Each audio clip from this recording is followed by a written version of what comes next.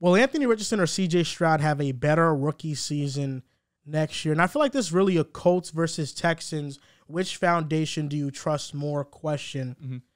I look at the offense, four position groups running back, offensive line, receiver, and tight end. I think that this is split 2 2.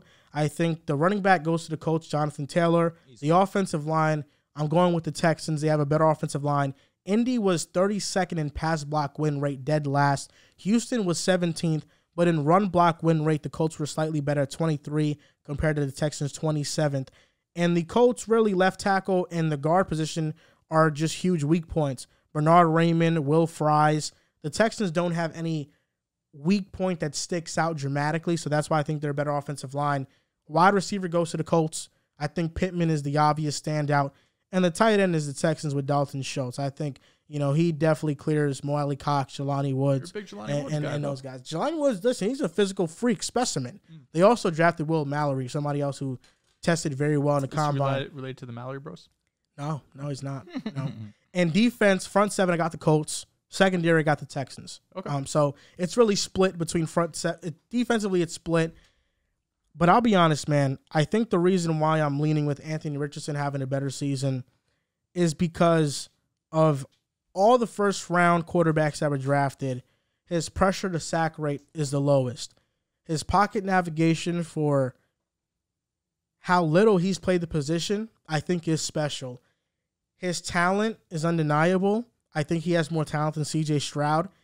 And Shane Steichen has worked with back to back quarterbacks and has maximized them. Justin Herbert, Jalen Hurts, Anthony Richardson going to be one of these other guys that has these physical tools that Shane Steichen just maximizes. He'll be a force in a running game.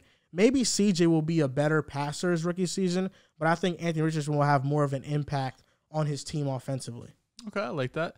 I think Anthony Richardson is in a better position to succeed his rookie year because of Shane Steichen.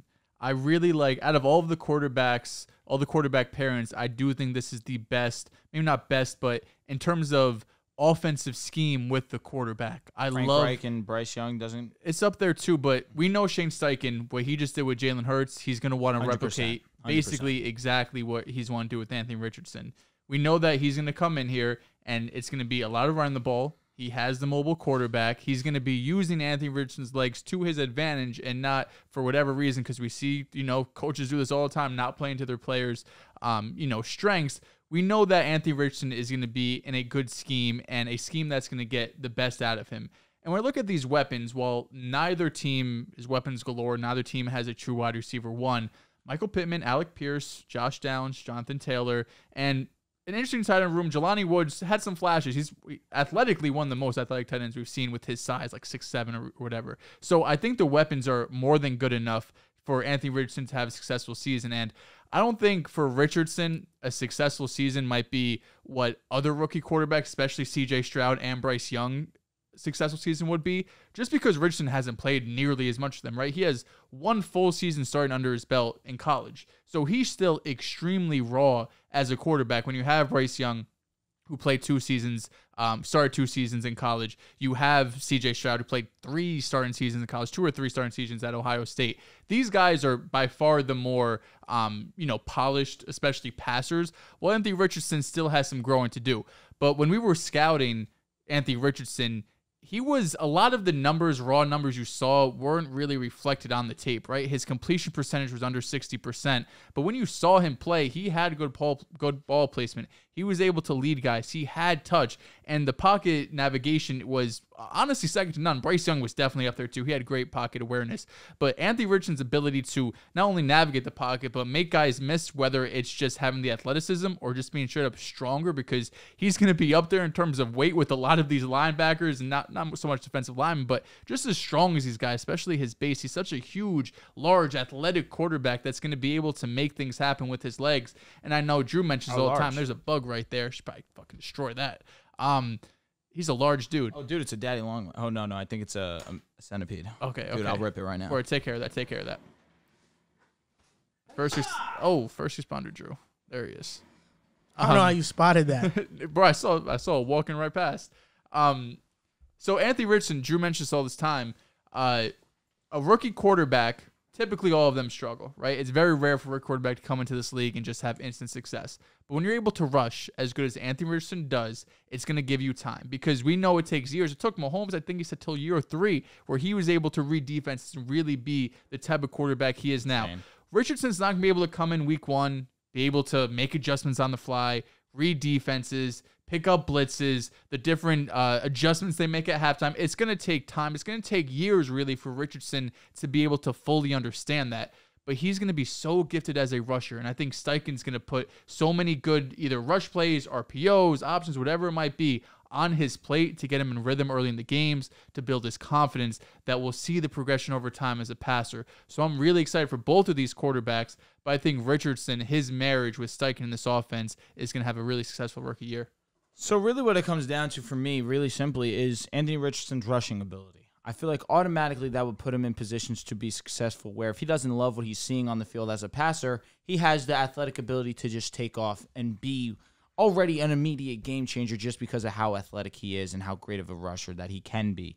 Now I look at Michael Pittman. You mentioned it already. I think that he is by far the most trustworthy option at the wide receiver position. And then on top of it, he also does have the best, one of the best running backs in football. Period. But of course, out of these two teams, Jonathan Taylor, where Dameon Pierce deserves respect with how bad the offensive line is in terms of rush block. Dameon Pierce is definitely successful. Jonathan Taylor is just a different breed of running back. He has the ability to be a pass catcher as well. And if Anthony Richardson is in some trouble, he can just dump off to, to Jonathan Taylor and let him do his thing. Now, I think that Shane Steichen definitely is going to aid Anthony Richardson in the best way possible. You mentioned already he's worked with Jalen Hurts. He's worked with Justin Herbert. These are two of the two of a top five quarterbacks in my opinion already. Jalen Hurts solidified himself. Justin Herbert came into the league and proved that he well he came into the league and put the league on notice. Just hasn't had the playoff success yet, which is why people don't rate him as highly as others. But regardless of that fact, I think Anthony Richardson does have the tools to be successful. I look at Michael Pittman, I look at Jonathan Taylor. I just think that it's a little bit more easier for Anthony Richardson in year one to have success as opposed to CJ Stroud, where CJ Stroud is a really good prospect. There is some there are there are some things to look at with the Texans and be happy about. The offensive line definitely isn't bad by any means. Dameon Pierce is a solid piece. Hopefully John Metchie can suit up finally. Then they I believe they brought in Robert Woods this year too as well.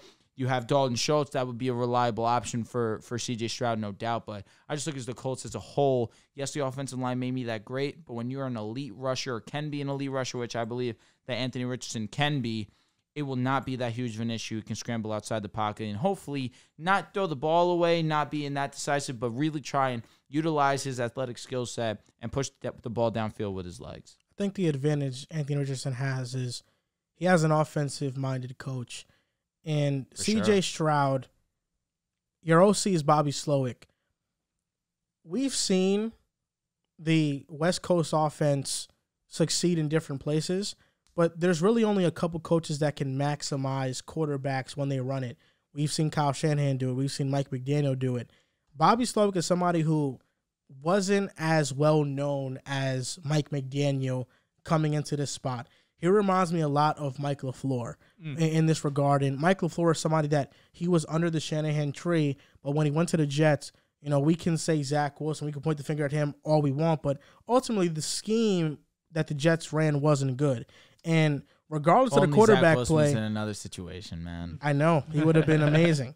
Regardless of the scheme that we we ran or the quarterback play, Elijah Moore was was vocal about the lack of offensive Sure, that's true. creativity with Mike LaFleur, and they got into a lot of heated exchanges. I think Bobby Slowik is better than Mike LaFleur, but I think there's going to be an adjustment period because this is not the same offense that CJ Stroud's coming from with Ohio State. Ohio State's very very spread, very air raid, so that's why I think there's going to be more of an adjustment period where Shane Steichen, I think, will fit the offense more to Anthony Richardson, where CJ Stroud has to be more more in tune with how Slowik likes to run his offense. Never forget when the Jets are filling out their offensive uh, or their coaching staff when we, we hired Saleh in our Jets group chat. And they're like, "What are we gonna do when Mike LaFleur gets a head coaching job? Like, we need an offensive mind." Eh, that day came. I mean,